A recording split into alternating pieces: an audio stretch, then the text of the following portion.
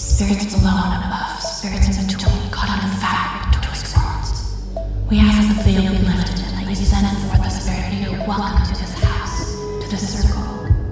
If you're here, we ask that you make your presence known. Come if you're curious to see. Pull the tricks out of my sleeve. All you find is yours to keep.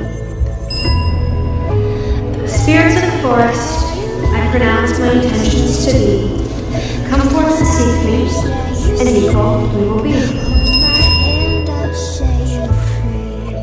Now, Hounds of heaven, hounds of hell, hounds of earth, guardians of the door, we summon thee to help us resurrect the fallen sun. Praise to the King of Himself.